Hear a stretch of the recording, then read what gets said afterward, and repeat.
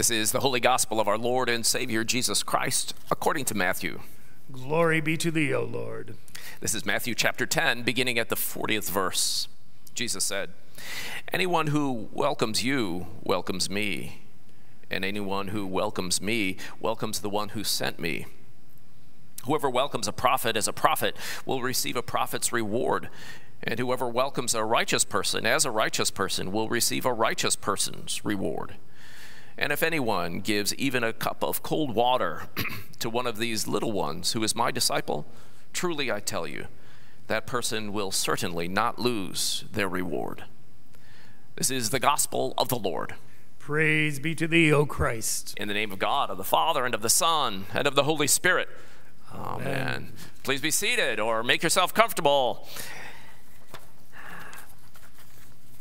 It is, uh, it's a it's a great thing to be able to be together and to be able to uh, to puzzle over scripture and to uh, to receive uh, you know this this this direction this um, this uh, this uh, instruction and blessing from God. Um, but I you know I gotta ask this question. So do you trust God? I mean do you trust God? I mean with all of the stuff going on in the world today where has he been what has he been up to? What kinds of things has he been has he been preoccupying himself with? With all of the coronavirus uh, that's out there, with all of the racial tension that's going on, um, you, know, you know, where has he been? This question about uh, whether we can trust God or not. It's really at the heart of, of much of our struggle, isn't it? And it's at the heart of uh, the Old Testament lesson uh, for today. And this and this uh, this this uh, interchange uh, with with Abraham. Uh, it starts out, the lesson does. It says, and sometime later, God tested Abraham. God tested Abraham. Well, I don't take testing to be a terribly friendly kind of thing to do. I mean, I don't like being tested. Um, I like just being accepted. Um, and yet, uh, and yet, it sets the tone for this entire passage, and uh, and and we, the temptation is for us to to read it like God is trying to have Abraham jump through hoops, but the idea of being tested is important in our life, and it's important in our in our spiritual journeys. Um, you know, I you know I got in my car and I drove here today, but before I ever even got this car, um, before I purchased it, um, it had been tested. It had been tested in a thousand different ways in order to be able to know that it was going to function in a way that was going to represent what they were telling me it was going to do. Uh, in fact, you know, you can't go into your house and buy all, and look at almost anything that you've bought without knowing that it's got the house, the good housekeeping seal of approval that it's been tested. You know that if you buy a lamp, it's not going to burn up on you, or or a toaster or an air conditioner that's going to work. Uh, it, testing is testing is important. We're waiting for a virus for a, for a vaccine for this virus, and and there are over a hundred different vaccines in the running, and they're all being tested, and we want them to be tested. I don't want anybody putting anything in my body until it's been tested. We're tested all through our lives. We are. It's part of what makes education possible is because students are tested in order to be able to know what they know and what they don't know. And so this process of being tested is, is critical to what it means to be human what it means to be safe, what it means to grow. And so God chooses to test Abraham, not because he wants to play games and make him jump through hoops or walk through a maze, but, uh, but because he cares for him. This testing is, uh, is for Abraham and, and for the demonstration of God's love for him. And yet, you gotta scratch your head. This is one of the toughest Old Testament passages um, that has got to be out there. He says, um, So, what's he testing him with? He says, Abraham. Here I am. I like that. Here I am. You know, it's J- Abraham. Notice as we go through the reading several times, he says, "Here I am." Abraham reporting for duty, sir. Always reporting for duty. Uh, he doesn't hide. He doesn't slink away, he's not in the shadows, he reports for duty. Then God said, Take your son, your only son, whom you love, Isaac, and go to the region of Moriah, sacrifice him there as a burnt offering on a mountain I will show you.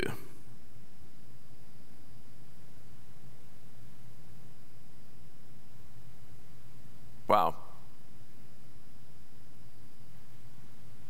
Wow. Now, just a little context um, for this passage. So, Abraham um, existed, uh, existed before Jesus, before King David, uh, before Moses. He is in the very early pages of the Bible in Genesis.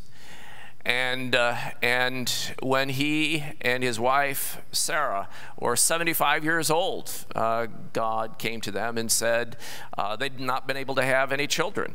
And he was, he, the two of them were chosen by God to have a son, and that son was going to be the son of promise.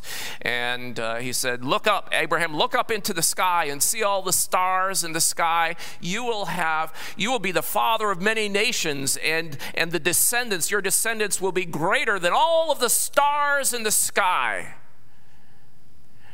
And, uh, and Abraham and Sarah laughed. they laughed because they were 75 years old and going to have a child. Uh, but the promise of God was made. And yet time went on. Time went on. 25 years time went on. At one point, they decided to take measures into their own hand, and so there was a handmaid, Hagar, and the, the resulting birth of Ishmael. But God said, No, I mean, uh, I'll, I'll, bless Ishmael, but that's not the fulfillment of my promise. And at a hundred years old, Sarah becomes pregnant and gives birth to a son, this son Isaac. And so finally, Finally, they've been waiting. They've been waiting for all this time for this child, and they've got him. So many hopes and dreams are embedded in this boy. And so he, he grows up, and he's, he's you know, what, eight, nine, ten years old, enough to be helpful, you know, around the house and helpful with his father. And now this testing comes this child who is the, the, the embodiment of hopes and dreams for the future, precious beyond imagining. And God says, Abraham, I want you to take that boy and I want you to go to the mountain and I want you to sacrifice him to me.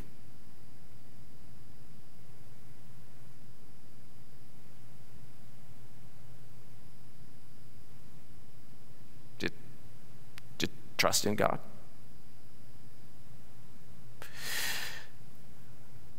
So, this story is not just Abraham's story, but it's also our story. And we're invited to, to ask the question so, what do, we, what do we put our hope in?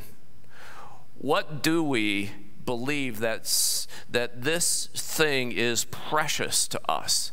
That this thing offers us a bright and hopeful future, that, that if we just simply cling to this, everything will be, will be really wonderful. It can be, it can be our kids.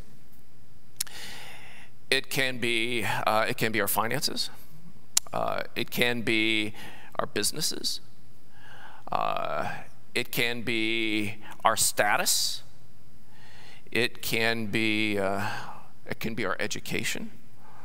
It can be all different kinds of things that we as human beings have a way of, of producing and just looking at and seeing that that one embodies all of our hopes and dreams. And, and God comes to us as he comes to Abraham and says, you see this? You see that mountain over there? I want you to, to, to take to take that and I want you to go and sacrifice it to me. Boy, it doesn't seem Doesn't seem right. And it doesn't seem fair. For three days, um, Abraham had packed everything up. He got the wood for the fire. He got the fire. He had a donkey, two helpers, and Isaac. And for three days they journeyed. Now, um, what are the feelings that you can imagine for, for Abraham to go through? Resentment, anger, bitterness, disappointment, fear. And yet, um, he went. And those were uh, perhaps the longest days of Abraham's life. And finally, they, uh, they arrive at the, at, the, at the mountain, going through the darkness of the nights and wondering kind of what the conversation along the road must have been like. So they arrive at the mountain, and, and, uh, and Abraham says to his servants, he says, to stay here with the donkey, and uh, the boy and I, we're going to go up there and we'll be back.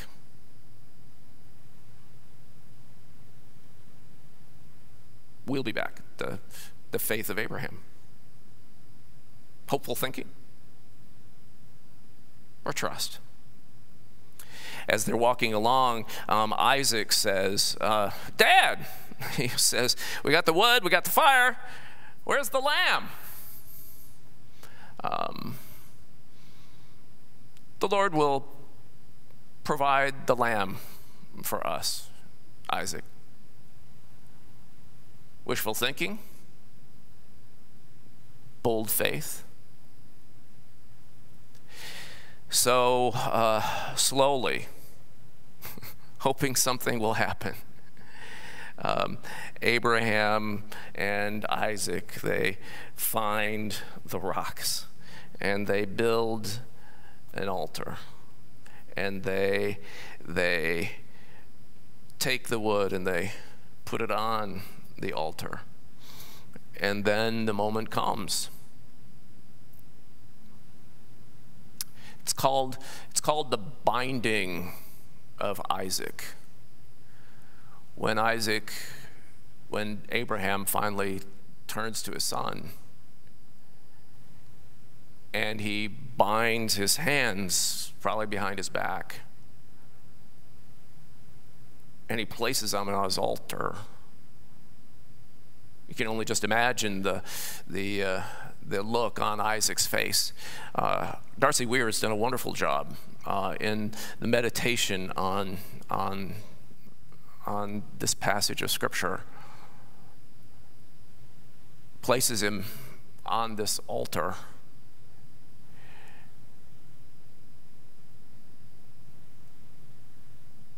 you know, uh, a side note um,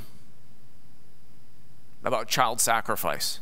Um, child sacrifice was rampant uh, during the time of Abraham, and and many primitive religions practiced it. In, in uh, South America, the Incas, the Aztecs, Machu Picchu is a is a is a big is a big uh, hill, um, the purpose for which um, was child sacrifice.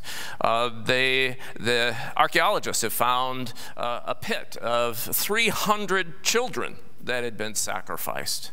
And in the area where Abraham lived, the Canaanites in that area, the gods of Baal and Molech and the Ashtoreth, they all demanded child sacrifice, sometimes in order to be able to placate God in order to be able to placate their version, this perverted God of theirs, so that they could survive a drought or, or win a battle. Or uh, just because the seasons were changing. And so then, regularly, as a part of the annual custom, is the sacrifice of children.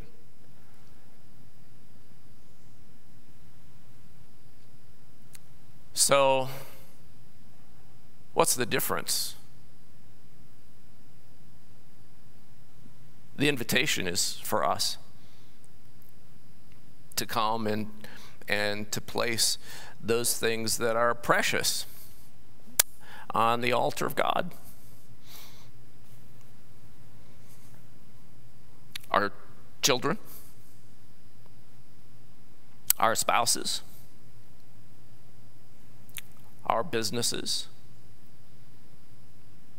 St. Paul even writes in Romans, he says, Present therefore your bodies as a living sacrifice unto God, for that is your reasonable service. So, what is the difference between these pagan, ugly, hateful gods and the God of Abraham?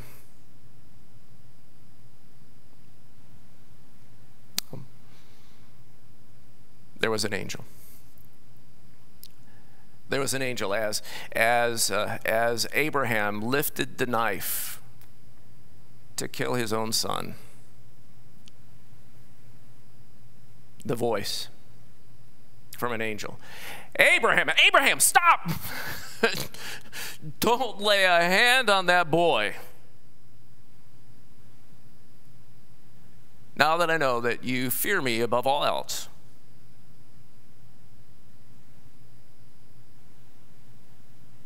And so, with those words, with those words, the knife comes down and, and, and cuts the ropes that held Isaac bound. Hugs, receiving back his son, and, uh, and a ram that's caught in a thicket over on the side.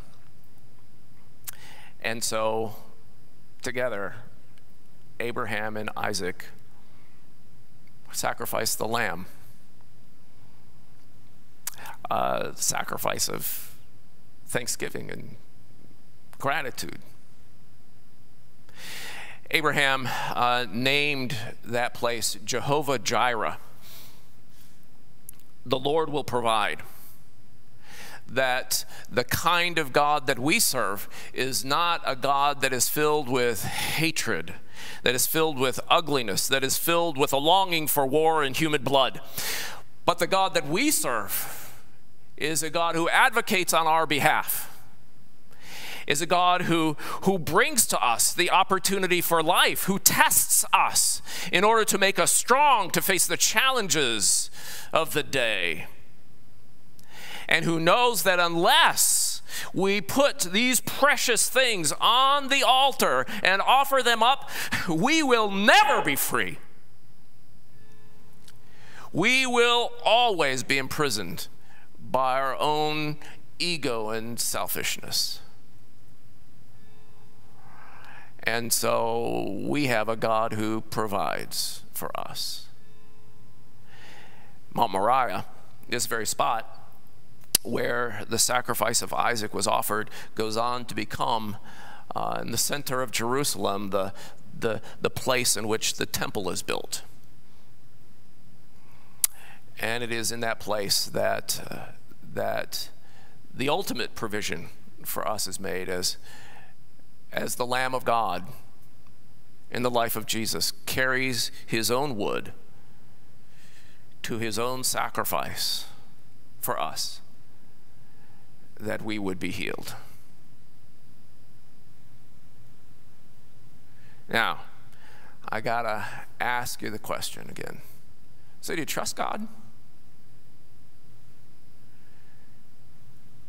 In the midst of all of the difficulties, in the midst of all of the darkness, in the midst of all of the challenges, and in the midst of all of the testing that takes us down to our knees and challenges everything that we think, do you trust Him?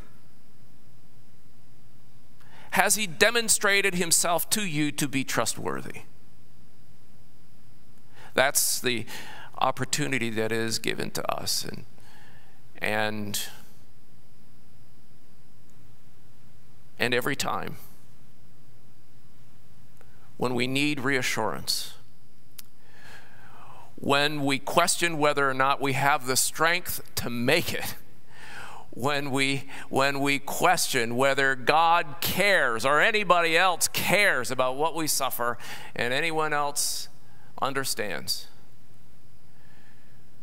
We have only to look to the altar and to the cross, where God Himself has become our sacrifice and a sign that He will always, always, always provide for us and care for us and surround us with His love.